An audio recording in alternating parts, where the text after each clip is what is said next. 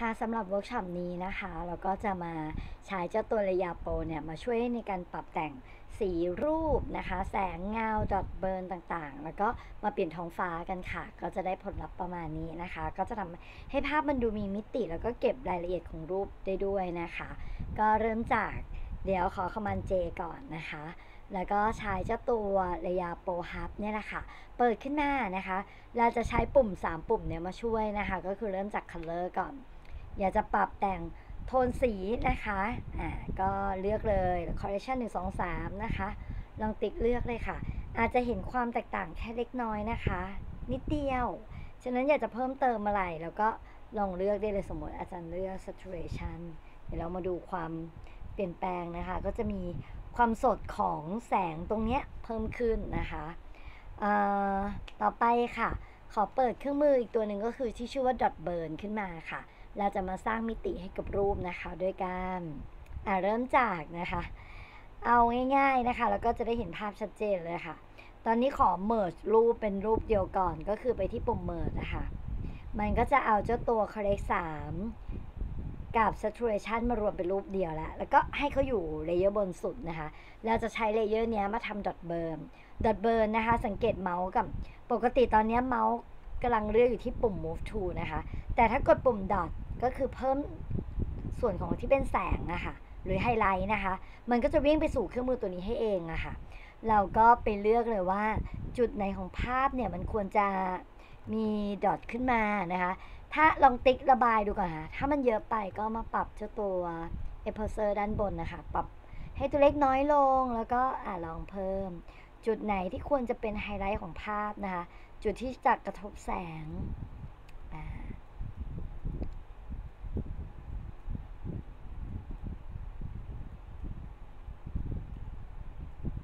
ตรงไหนที่กระทบแสงนะบอใบไม้ลอลิงปรับหัวเมาส์ได้เลยค่ะ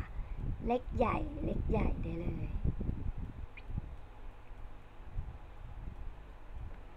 อลองปิดตาเปิดตาดูค่ะ มันก็จะเริ่มมี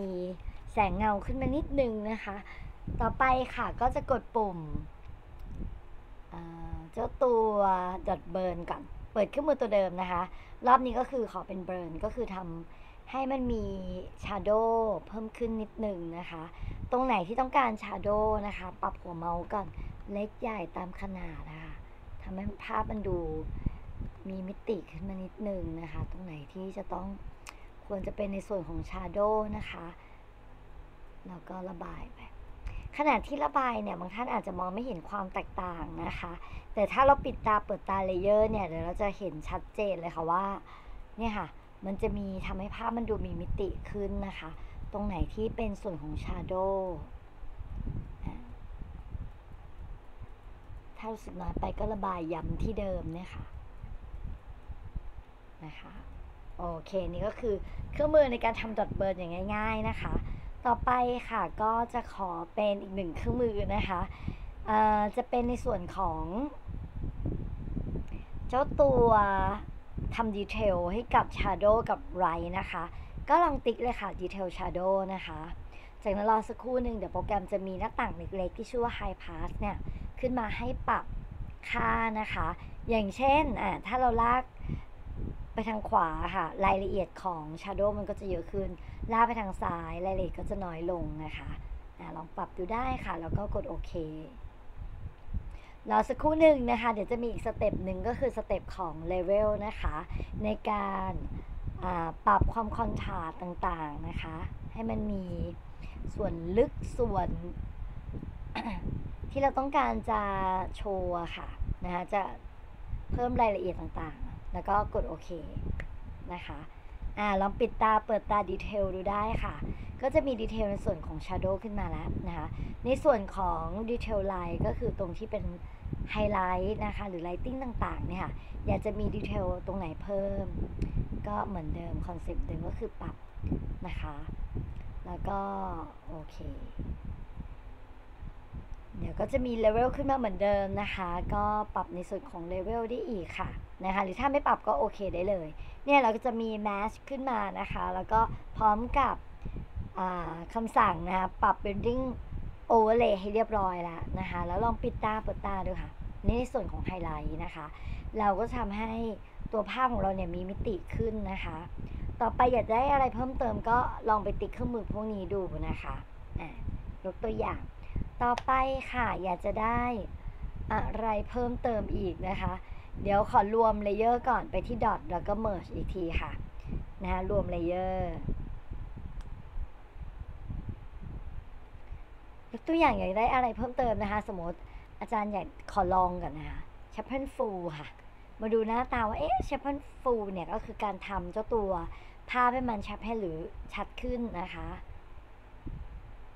ไม่แน่ใจว่ารูปเนี้ยสำหรับ c h a p e l full มันจะออกมาผลลัพธ์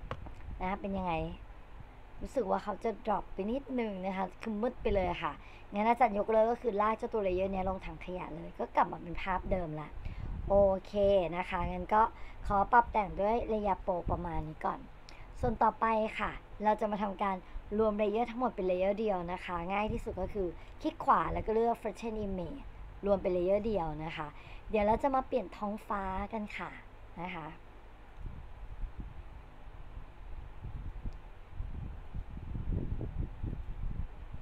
อ่าเป็นท้องฟ้านะคะอีกทีนะคะ คลิกขวาแล้วก็ flatten image โอเค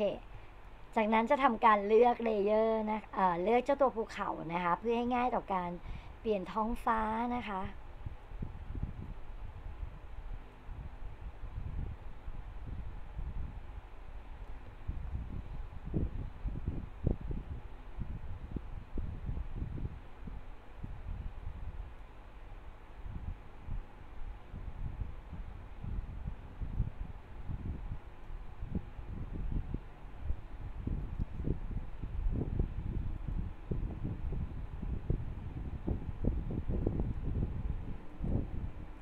อ่าก็ คือ เก็บทุกส่วนของรูปไปให้หมดเลยค่ะ selection ทุกส่วนนะคะ แล้วก็เดี๋ยวจะทำการแยก layer คือ command J ค่ะ เรียบร้อยนะคะพอ command J แล้วทีนี้เราก็จะมานำท้องฟ้าใหม่เข้ามานะคะ โดยการไปที่ไฟล์แล้วก็ place embed ส่วนเครื่องไหนที่ใช้เวอร์ชัน2021 ไปที่ edit แล้วก็ Sky Replacement ได้เลยค่ะ เปลี่ยนท้องฟ้าได้เลยนะคะ เครื่องของอาจารย์จะเป็นเวอร์ชัน2020 จะไม่มีคำสั่ง Sky Replacement นะคะ ก็เลยต้องอาศัยหาท้องฟ้าที่เป็นภาพสำเร็จรูปเนี่ย มาอ่า Place Embed แล้วก็ปรับแต่งนะคะ ก็ปรับไซส์ปรับขนาดก่อนอ่ากด Enter ค่ะ แล้วก็จัดการนำ layer ที่เป็นรูปภูเขาไว้ด้านบนนะคะ แล้วก็ จับเขาเลื่อนตำแหน่ง อยาได้ส่วนไหนของภาพมาใช้งานนะคะอะก็ประมาณนี้ค่ะ เราก็จะได้เห็น before after ก่อนนะคะว่า ภาพก่อนหลังปรับเอ่อก่อนปรับหลังปรับเป็นอย่างไรนะคะ ก็จะทำให้มันดูมีมิติมีความคมชัดมากขึ้น แล้วก็ในส่วนของแสงเงามากขึ้นนะคะ